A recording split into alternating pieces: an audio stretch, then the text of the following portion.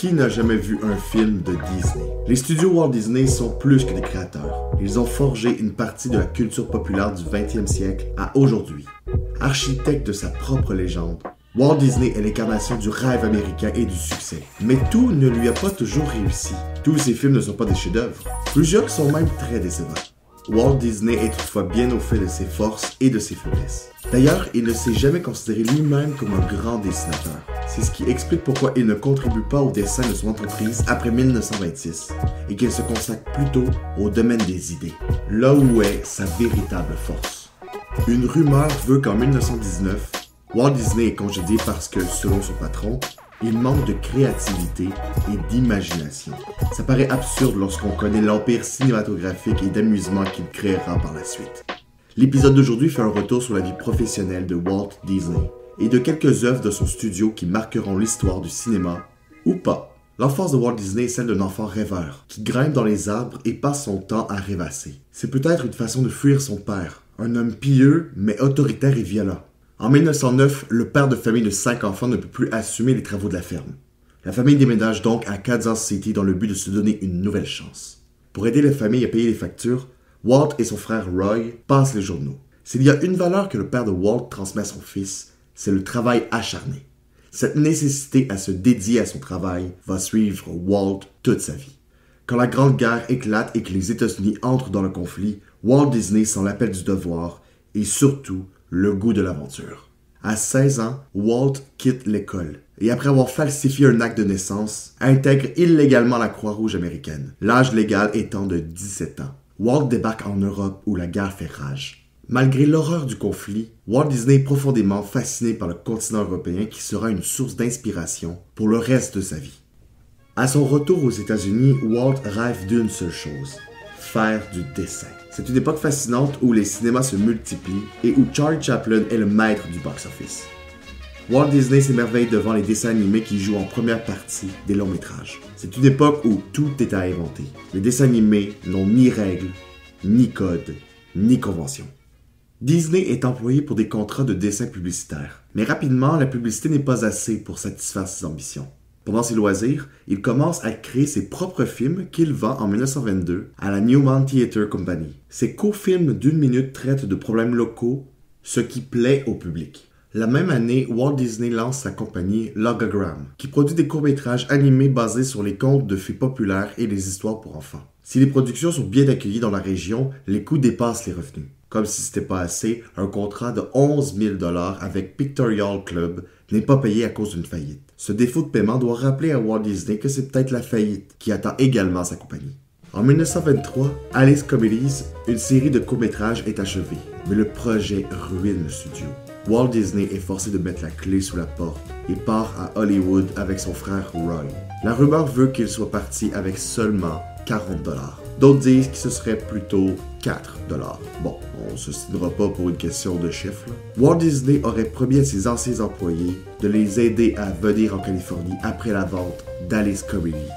Dans les années 20, Hollywood est la place à être pour faire du cinéma. Walt et son frère Roy montent une compagnie d'animation. Ainsi débutent les Disney Brothers Studios dans le garage de leur oncle Robert. Entre les deux frères, Walt sera toujours le cerveau créatif, tandis que Roy s'occupe des finances. Le 16 octobre 1923, Disney signe un contrat pour réaliser 12 films. Cette date est celle retenue par l'histoire comme étant la création des studios Disney, puisqu'il s'agit de la date de la première signature de contrat. Trois ans plus tard, les Disney Brothers Studios sont rebaptisés Walt Disney Studios. En 1927, Disney accepte un contrat demandant la conception d'un personnage de lapin qui devient le héros d'une série d'une société pour laquelle Walt Disney collaborait déjà. Le personnage du lapin prend le nom d'Oswald. L'année suivante, en 1928, un conflit entre les frères Disney et la société éclate, et la société aurait volé les droits du fameux Oswald à ses créateurs. Cette affaire demeure encore aujourd'hui nébuleuse. Est-ce qu'on parle réellement d'un vol ou de deux frères qui ont mal rédigé leur contrat, suivi d'une compagnie qui en a profité? On le saura sans doute jamais. Quoi qu'il en soit, pour remplacer Oswald, Walt Disney cherche un nouveau personnage vedette et mise sur la simplicité esthétique. Rapidement, la plus célèbre des souris verra le jour. La légende dit qu'en une nuit de l'année 1928, sur la table à dessin, Oswald le lapin devient Mickey Mouse. Hub Works, un employé et ami de Walt Disney, coupe les oreilles du lapin, mais lui laisse ses yeux, son museau et son sourire. Pendant ce temps-là, Walt Disney lui trouve une personnalité. Plus tard, on dira que la souris est l'alter ego de Walt. Fonceur, charismatique et astucieux. Pour créer leur souris, Hub Works et Walt Disney utilisent un style qu'on appelle en haut, parce que le physique de la souris est de forme ovale ou circulaire. Par exemple, les oreilles de Mickey sont deux cercles parfaits. Lorsque la souris bouge de profil, les oreilles demeurent des cercles, comme si Mickey Mouse avait des oreilles sphériques. Décidément, on veut pas se casser la tête avec des dessins complexes. On cherche la simplicité. Au départ, Walt veut appeler son personnage Mortimer, mais sa femme n'est pas du même avis. Elle préfère Mickey. C'est donc à la femme de Walt Disney que Mickey Mouse doit son nom. Est-ce que c'est vrai ou ça participe aussi à la légende? On ne le saura sans doute jamais comme plusieurs autres moments de la vie de Walt Disney. Mais l'histoire n'en demeure pas moins belle. Si Mickey Mouse est créé, le succès n'est pas immédiat. Personne ne veut acheter les deux premiers courts-métrages de Mickey Mouse. Walt Disney a donc une idée, synchroniser le son et l'image. Avec nos yeux contemporains, c'est difficile d'imaginer le défi que représente cette synchronisation. En 1928, Steamboat Willie marque l'imaginaire.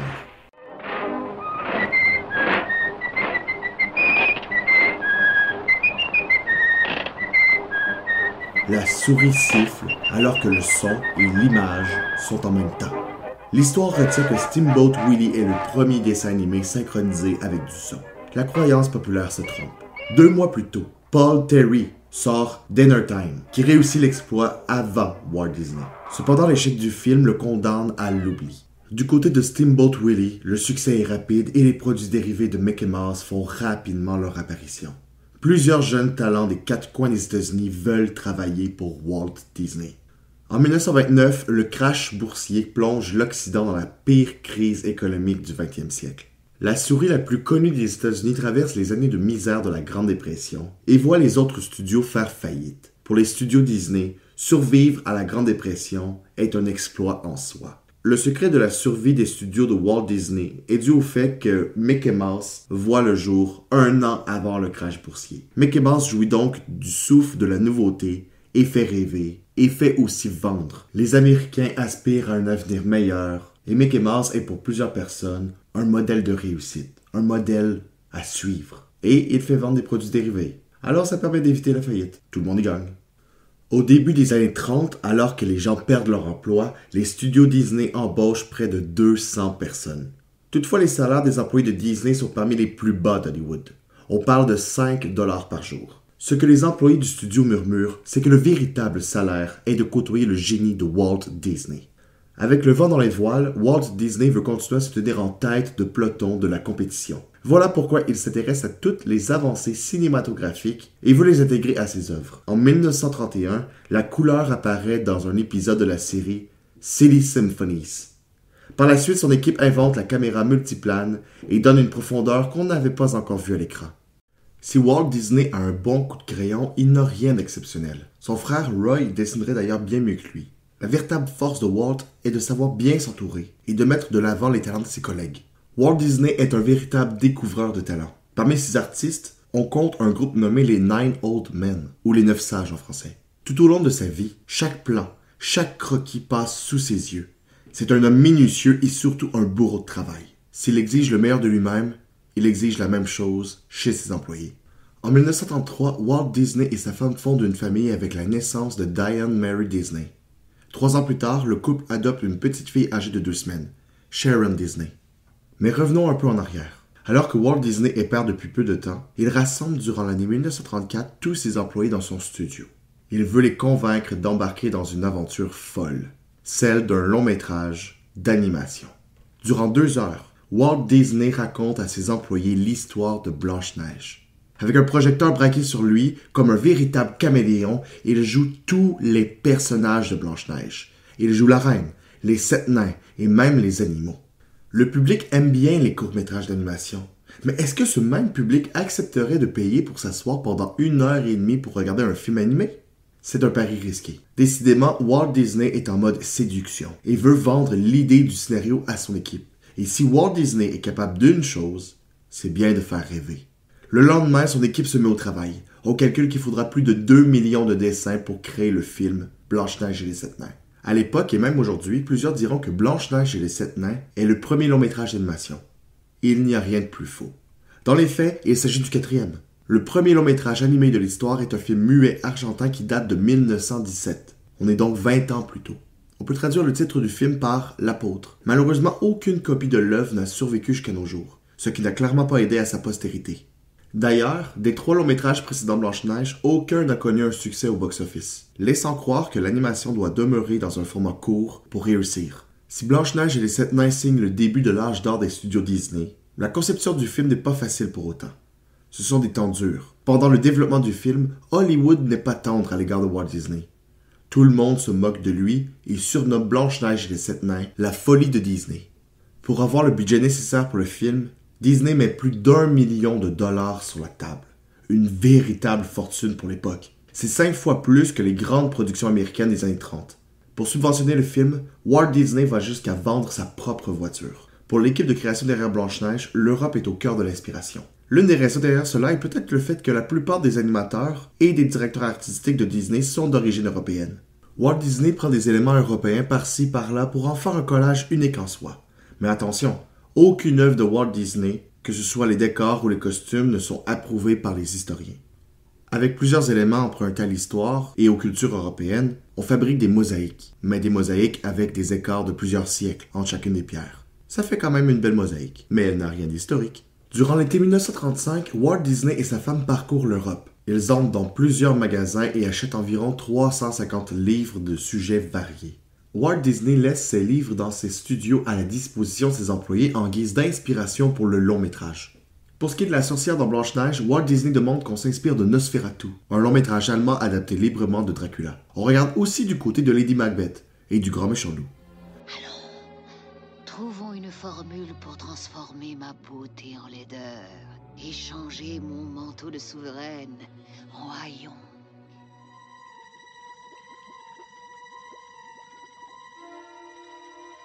Pour ce qui est de la transformation de la sorcière, Disney veut qu'on se tourne du côté de Dr. Jekyll et Mr. Hyde.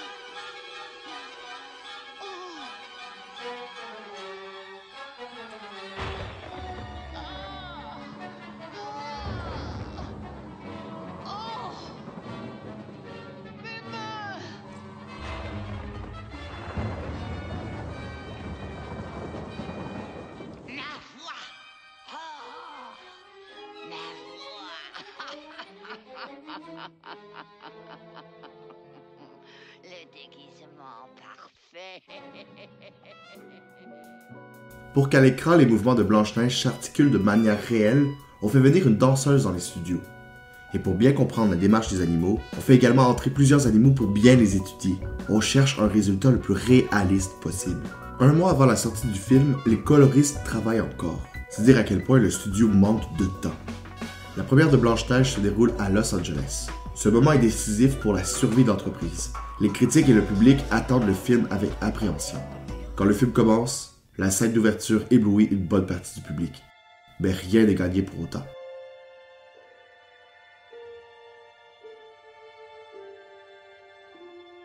Et lorsque la scène de la tentation de la pomme survient, le public retient son souffle. Ça y est, Disney sent qu'il a réussi. Il tient son public en haleine. À la fin du film, la foule se lève et acclame le génie de Walt Disney et la pression disparaît. Le 21 décembre 1937 vient d'entrer dans l'histoire du cinéma et Walt Disney passe de fou à prodige en l'espace de 83 minutes. Après la sortie de Blanche-Neige, Walt est comme sur un nuage. Mais il ne veut pas s'arrêter là. Il cherche encore à créer et à repousser les limites de son art. Au départ, Blanche-Neige devait être bien plus musicale qu'il l'est finalement. Ça n'empêche pas la chanson Someday My Prince Will Come de tourner énormément à la radio et d'être une inspiration pour de nombreux jazzmen des années 50. Someday my prince will come. Someday we'll meet again. Blanche-Neige ancre chez le studio Disney et plusieurs compétiteurs l'idée qu'un film animé doit comporter des chansons. D'ailleurs, il faut attendre en 1985, avec Taram et le chaudron magique, pour que Disney produise son premier long métrage animé sans aucune chanson. En 1939, Charlie Temple, âgé de 11 ans, remet un Oscar de taille régulière accompagné de 7 Oscars miniatures représentant les nains. Les studios Disney font désormais partie intégrante du rêve américain. Malgré le succès de Blanche-Neige, les studios ne sont pas à l'abri financier. Walt Disney ne veut pas trop penser à l'argent et délègue plus que jamais cette tâche à son frère. En 1940, Roy Disney fait entrer la compagnie en bourse. Un peu après le succès de Blanche-Neige, le studio Disney promet un long métrage à tous les six mois. Un pari audacieux si l'on constate qu'il a fallu plus de trois ans pour créer Blanche-Neige. Rapidement, trois films sont déjà sur la table Pinocchio, Fantasia et Bambi. Pour atteindre son nouvel objectif, Disney embauche des centaines d'employés. Le studio compte plus d'un millier de travailleurs. C'est pas rien. Le studio fourmille de gens. On manque de place. Walt Disney se rend donc à Burbank et achète 20 hectares pour y construire ses mystiques studios. C'est là-bas qu'il crée le tout premier studio campus, bien avant Apple et Google. Il rêve d'une communauté de travail en symbiose. Il sait qu'un employé heureux est un employé efficace à la tâche. Pinocchio est le second long métrage du studio Disney. Ce film est celui de l'âge d'or disneyen qui a le plus de moyens financiers. On le doit essentiellement au succès qu'a connu Blanche-Neige et aux 2000 employés qui travaillent chez Disney par la suite. Walt Disney prend la liberté de s'éloigner de l'œuvre originale. Carlo Collodi, qui est l'auteur derrière le récit de Pinocchio, vient d'une époque où les contes ont une dimension beaucoup plus sombre. Pour Walt Disney, certaines scènes ne peuvent pas être présentées à l'écran. Par exemple, dans le livre, Pinocchio écrase Jiminy Cricket avec son maillet. Pinocchio est envoyé en prison et est même pendu à un arbre. Disney prend aussi la liberté de créer certains personnages, dont Figaro et Cléo, le chat et le poisson. La famille de Carlo Collodi s'offusque de voir l'œuvre dénaturée à ce point, allant jusqu'à poursuivre sans résultat Walt Disney pour avoir dénaturé l'histoire imaginée par l'auteur. Avec le succès de Blanche-Neige, les attentes sont élevées pour ce deuxième long métrage, et Walt Disney les comble amplement avec un scénario plus complexe et des effets visuels plus travaillés. Les étincelles de la baguette magique surprennent le public. Il n'y a pas à dire, en ce mois de février 1940, le public et la critique sont sous le charme. Toutefois, tout n'est pas rose au pays des contes de fées. Les entrées au box-office déçoivent le studio de cinéma. Surtout qu'en Europe, la Seconde Guerre mondiale est omniprésente. Fantasia est le troisième film Disney voir le jour. Ce film est un ovni dans la cinématographie de Walt. À cette œuvre, il y a un but démocratiser la musique classique. Le film ne construit pas son scénario autour d'une histoire, mais plutôt autour d'œuvres de compositeurs célèbres comme Tchaïkovski, Bach et Beethoven. En novembre 1940, à la sortie de Fantasia, les critiques se divisent. Certains voient en ce film un chef-d'œuvre, d'autres une grande déception, voire un essoufflement des studios Disney. Il n'y a seulement qu'une douzaine de salles de cinéma qui ouvrent leurs portes à Fantasia. Avec une diffusion aussi limitée, le film est condamné à un succès restreint au box-office. D'une durée de plus de deux heures, l'œuvre est considérée comme trop longue sans oublier l'entracte de 15 minutes. Une version plus courte est proposée au cinéma, mais l'engouement n'est toujours pas au rendez-vous. Depuis la fin des années 30 et au tournant des années 40, un esprit de grogne se transforme en révolte chez les employés des studios. Au début de l'année 1941, les employés se lassent des maigres salaires absolument pas compétitifs avec les autres studios d'Hollywood. En mai 1941, la moitié des employés des studios de Disney sont en grève. Walt Disney refuse toute négociation. Le 29 mai, Walt Disney rassemble ses 2000 employés pour un discours voulant apaiser les tensions. Le résultat est tout le contraire. Walt Disney prend la poudre d'escampette et quitte les États-Unis pour faire une tournée commerciale en Amérique du Sud. Il laisse à son frère Roy le soin de calmer les ardeurs des employés en grève. La grève dure finalement 5 semaines et se termine avec un accord. Chez Walt Disney, il y a un avant et un après la grève de 1941. Le producteur se sent trahi. La magie entre ses employés et Walt n'est plus. Le studio ouvre à nouveau en septembre 1941 avec un syndicat, mais un tiers d'employés en moins puisqu'ils ont été renvoyés. La même année, Le Dragon récalcitrant devient le premier long métrage de Disney qui mélange l'animation et les prises de vue réelle. Le synopsis est le suivant. L'humoriste Robert Benchley visite les studios Disney pour vendre à Walt Disney lui-même l'idée d'un film d'animation, l'histoire du dragon récalcitrant. Le film se veut un documentaire expliquant aux spectateurs le processus de création dans l'animation. One, two, three, four. All aboard! All aboard!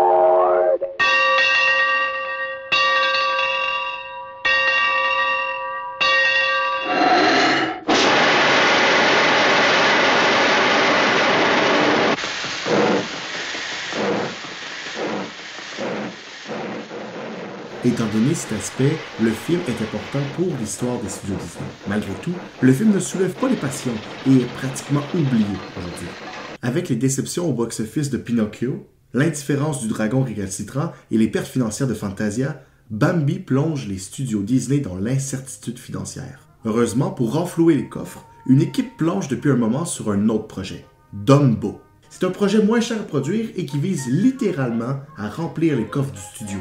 L'une des raisons du faible coût de la production est la durée du long métrage, un maigre 64 minutes. Plus le film est court, moins il coûte cher.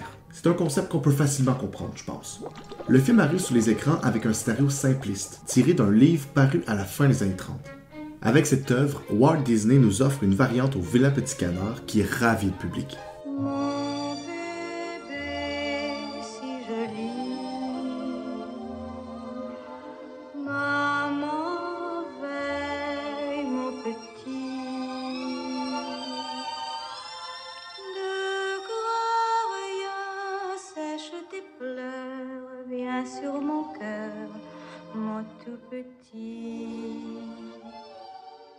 Ce qui est de Bambi, le travail pour que le film voit le jour dure durant cinq longues années. Des photographes sont envoyés dans les forêts américaines pour y capturer les quatre saisons.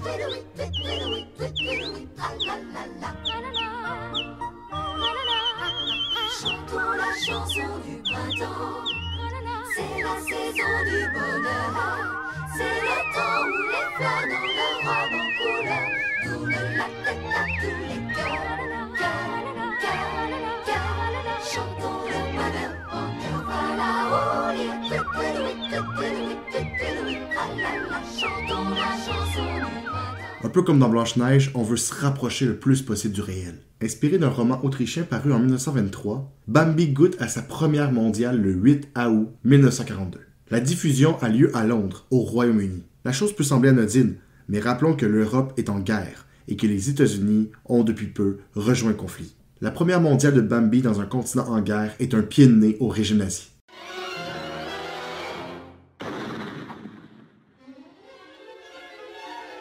La scène de la mort de la mère de Bambi émeut le public alors que l'incendie de la forêt le terrifie, mais les entrées dans les cinémas ne couvrent pas les frais de production. La guerre y est peut-être pour quelque chose. Walt Disney se rend à l'évidence que sa société est en perte de vitesse depuis le succès monstre de Blanche-Neige. Les dettes s'accumulent et ses employés ne sont plus aussi fidèles que dans le passé, surtout depuis la grève de 1941. Quelques jours après la sortie de Bambi, Saludos Amigos sort en salle en prenant le pari de mélanger les scènes d'animation à des prises de vue réelles, comme l'a fait Le Dragon récalcitrant. Il s'agit d'un film de 42 minutes. Un film aussi court démontre à quel point le studio est malade, manque d'argent.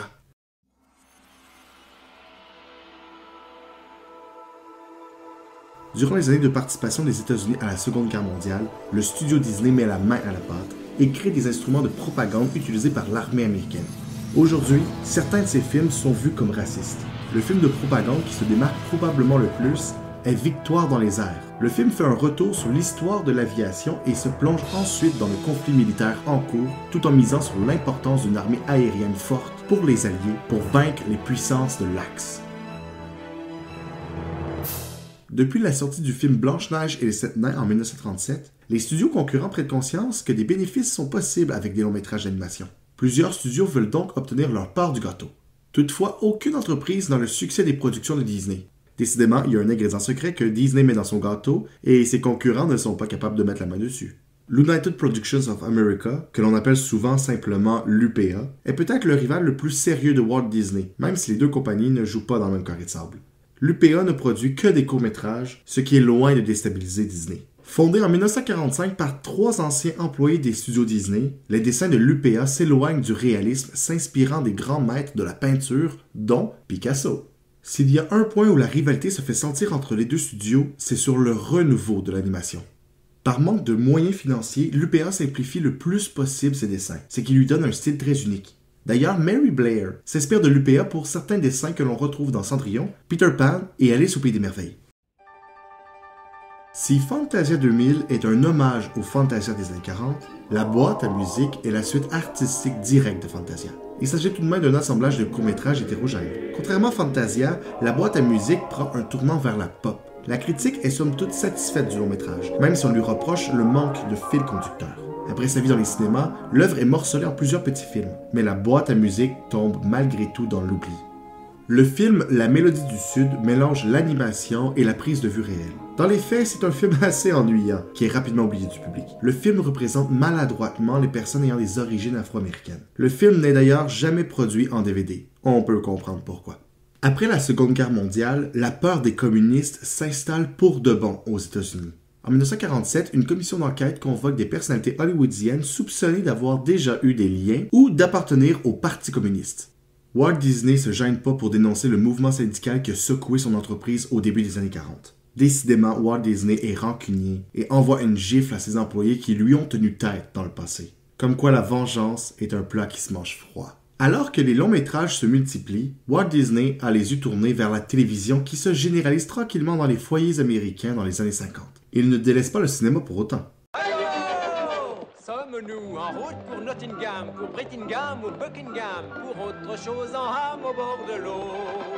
Sorti en salle le 6 janvier 1950, Le crapaud et le maître d'école est un film à sketch qui remportera un Golden Globe.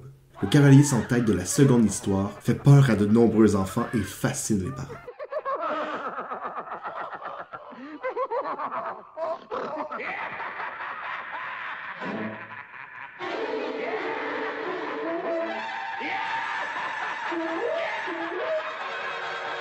L'île au trésor est un long métrage qui laisse de côté l'animation pour miser seulement sur la prise de vue réelle, née de la volonté du studio Disney de diversifier son offre. Si on se détache de l'animation, c'est pour accrocher un nouveau public.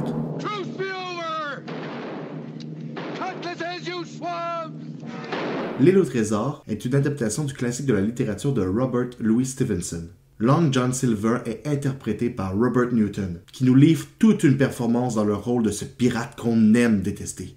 L'une des plus grandes libertés du film est le tempérament de Jim Hawkins, qui est beaucoup moins naïf et confiant à l'égard de John Silver que dans le livre.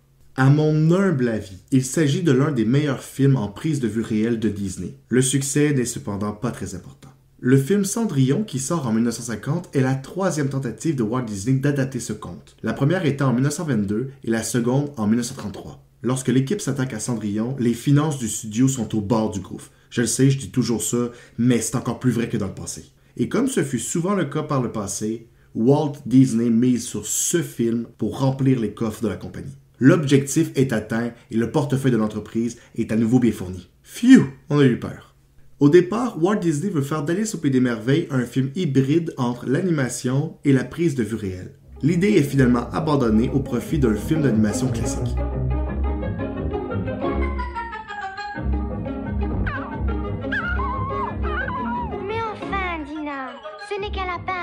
Veste. Ah, Et une montre Fermez, moustache Je suis en retard, en retard, en retard Étonnamment, le film est mal reçu par les critiques, et les plus puristes y voient trop de liberté par rapport à l'œuvre de Lewis Carroll. C'est le temps qui donnera finalement raison à Walt Disney et en fera l'un des classiques du studio. Un joyeux non-anniversaire Un joyeux anniversaire! Un Un joyeux non-anniversaire, mon cher Malgré le peu de succès que connaît L'île au trésor, Disney s'attaque à un autre gros morceau de la culture anglaise dans un film avec des prises de vue réelles, Robin des Bois.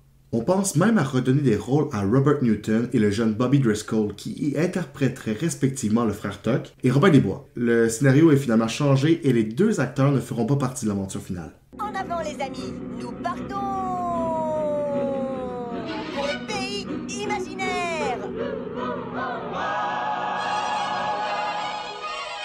Tiré de la pièce de théâtre de J.M. Barrie, Peter Pan est un vieux rêve de Walt Disney, qui à l'école a lui-même interprété le célèbre enfant au collant. Profondément marqué par cette histoire, Walt Disney tient énormément à cette production. Dans l'œuvre originale, la fée Clochette est une petite lumière. L'équipe de Walt la transforme pour en faire un personnage aux caractéristiques humaines.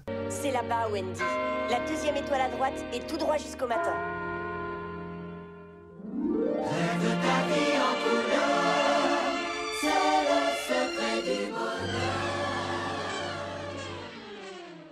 20 000 lieues sous les mers est la première grosse production des studios Disney réalisée en prise de vue réelle. Avec un budget de 5 millions de dollars, il est à l'époque le film le plus cher de l'histoire du cinéma.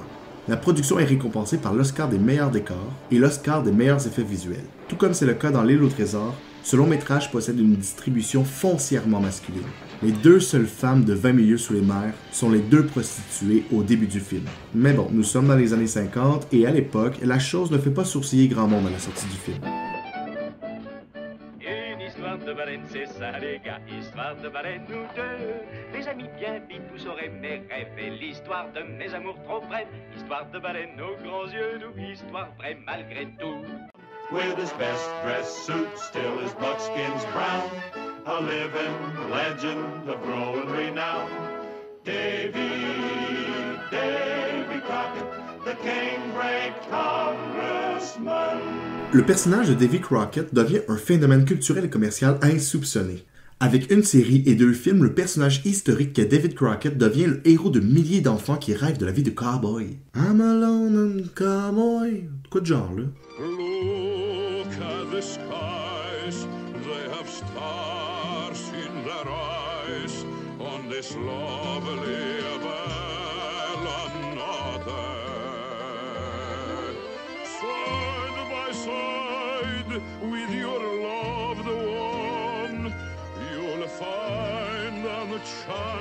En 1955, l'histoire de deux chiens permet à Disney de renouer avec son public de films d'animation. La Belle et le Clochard est avant tout une histoire d'amour entre deux membres de classes sociales différentes. Lady est la chienne d'une famille aisée, tandis que Vagabond est un chien errant.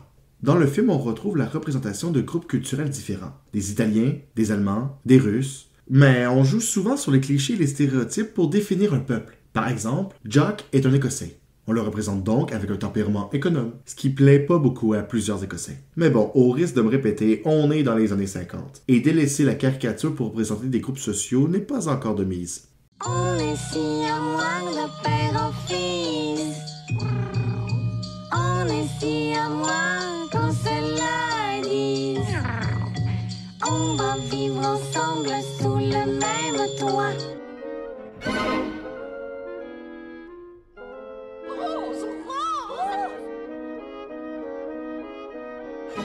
Avec La Belle au Bois dormant, Walt Disney met la barre haute. Il désire faire de La Belle au Bois dormant rien de moins que le plus grand chef-d'œuvre de sa carrière.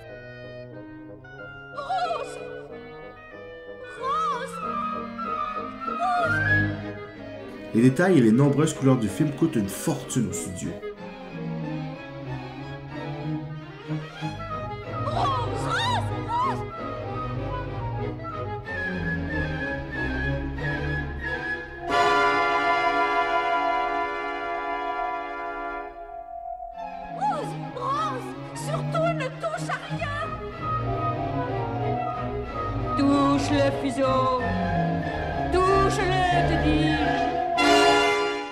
Les entrées au box-office déçoivent à un point où Roy Disney préférait que son frère se concentre maintenant sur les parcs d'attractions plutôt que le cinéma. Du côté de Walt Disney, l'échec de La Belle au Bois dormant, autant du côté du box-office que de la critique, l'affecte énormément. Mais ça ne lui enlève pas le goût de faire des films pour autant, sauf qu'il n'a plus envie de représenter à nouveau une princesse à l'écran.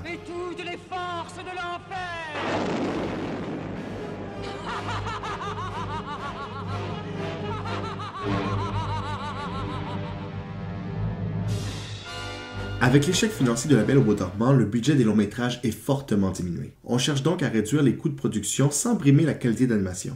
Voilà pourquoi on se tourne vers le procédé de la xérographie, qui permet la photocopie des dessins sur une feuille transparente au lieu d'une reproduction manuelle, qui serait plus longue et donc plus coûteuse. Il faut dire qu'avec 101 Dalmatiens à reproduire, c'est un travail colossal sans l'utilisation de la xérographie. Avec les 101 Dalmatiens, le studio Disney se tourne donc vers un changement graphique.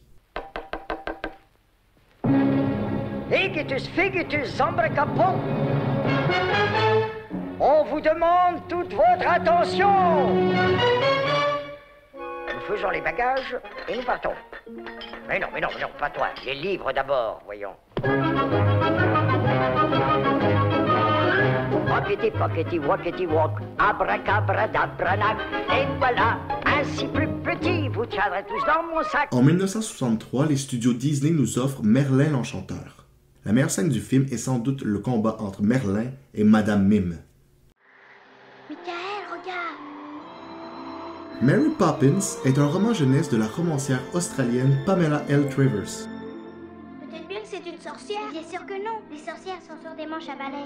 et dont le personnage principal est une gouvernante magicienne. Après une longue période de négociations entre Walt Disney et Pamela L. Travers pour obtenir les droits d'adaptation, la production du film commence en 1960 pour s'achever en 1964. Cette période fait d'ailleurs l'objet du long métrage Dans l'ombre de Mary, sorti en 2013. Pour plusieurs, Mary Poppins est l'œuvre testament de Walt Disney qui meurt deux ans après la sortie du film. C'est d'ailleurs le dernier film que Walt Disney sort lui-même en salle.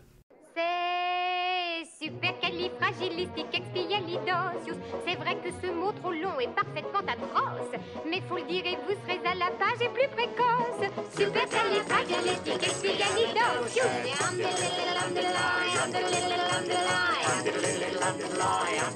Toutefois, le livre de la jungle est le dernier film sur lequel Walt Disney travaille. Malheureusement, il n'achèvera pas le projet puisque le cinéaste meurt durant la production.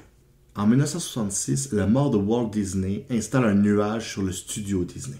Bien que le film Le livre de la jungle sorte en salle en 1967, une incertitude quant à l'avenir du studio plane dès 1966. Quel est l'avenir du rêve de Walt Disney alors que Walt Disney n'est plus? Les années 70 et 80 sont des années d'errance pour le studio. Les productions n'ont rien d'exceptionnel et l'argent vient à manquer. Le studio mise sur un conte populaire du passé pour se redonner un nouveau souffle, la petite sirène. Tu es sûr que ça va bien? Si seulement je pouvais lui faire comprendre. Je ne vois pas les choses à sa manière. Aujourd'hui, Walt Disney est l'un des studios les plus lucratifs du monde entier, avec dans son écurie des mastodontes comme le studio Pixar, Star Wars, Marvel et Century Fox. L'achat de toutes ces compagnies à succès démontre l'envie de Disney de devenir le plus grand joueur de l'industrie cinématographique. Voilà, c'est ce qui conclut cet épisode sur Walt Disney et les premières années de la compagnie qui porte son nom. Évidemment, j'aurais pu parler de nombreuses autres œuvres ou entrer dans les détails de certaines, mais il fallait faire des choix. Cela prouve que les œuvres des studios Disney sont nombreuses et que l'homme derrière l'entreprise a su marquer les imaginaires et s'inscrire dans le long terme. Bref, il nous a fait rêver.